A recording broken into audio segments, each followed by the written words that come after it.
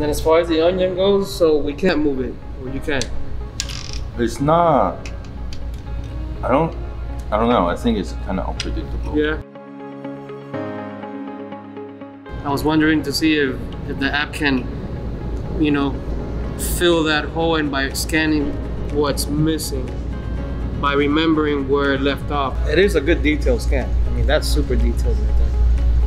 Goes without saying, right? The foods that JP create need to look super awesome.